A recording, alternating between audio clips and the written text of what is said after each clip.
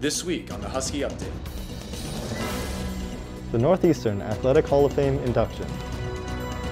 Increased storm capacity. A mayor's farewell speech.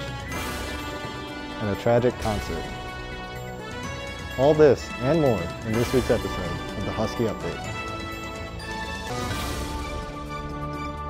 Your campus, your news, all the time. From the Showman Studio, here is the Husky Update.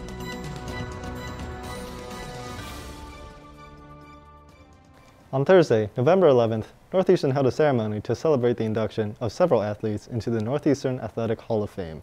Laura Chmielewski, Jennifer Forbes, Donald Hayburn, Fiona Rice, Mike Tamson, Brad Thiessen, and the 1988 field hockey team were all honored. These athletes have had other athletic success, such as Mike Tamson, who was a baseball player with the most hits in Northeastern history, and Laura Chmielewski, who was the two-time New England women's indoor pole vault champion in 2004 and 2006. The Hall of Fame class of 2020 was also recognized at this event due to their induction celebration being postponed because of the pandemic. Now to Jenna with Rapid Fire. Thanks, Adam. I'm Jenna Chin, and this is Rapid Fire. In local news, on November 2nd, Michelle Wu was the first woman and first person of color to be elected as mayor of Boston. The issues she ran on and policies she's looking to focus on include closing the racial wealth gap, offering free public transit, and instating a Green New Deal agenda to lead the initiative against climate change, to name a few. Wu's election into office means acting Mayor Kim Janey's eight-month tenure in office has come to an end. On Wednesday, November 10th, she presented a farewell address, sharing the initiatives that had occurred throughout her term. These included a tourism campaign, the home buyer campaign, new energy standards, and a vaccine mandate for city workers.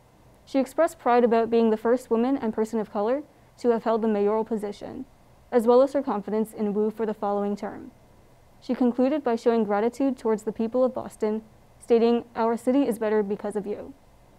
In national news, tragedy struck on November 5th at Travis Scott's performance at Astroworld 2021, when the crowd ended up in a crowd crush. Despite the event being declared a mass casualty event at 9:38, Travis Scott did not stop his performance until 10:15. Nine people died from the crowd crush, and 11 more went into cardiac arrest. The victims' ages ranged from 14 to 27. Hundreds more were treated for injuries. Travis Scott has since come forth and announced he will pay for the victims' funerals. In international news, on November 5th, Portugal's parliament passed new legislation to support work-life balance for remote workers. The laws established fines for employers who contact employees outside of working hours. Another new policy requires employers to help pay for expenses incurred as a result of employees working remotely, such as internet and electricity bills. Employers must also meet with employees every two months to avoid isolation.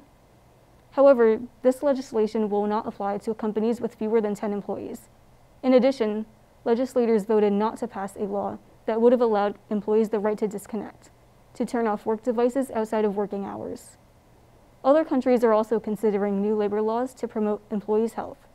A study in Iceland found higher employee satisfaction and productivity with a four-day work week. Spain and Japan are planning to test this reduced work week as well. That's all for Rapid Fire. Back to you, Adam. Thanks, Jenna. After a record number of applications and new students on campus, Northeastern University is struggling to house all the new students.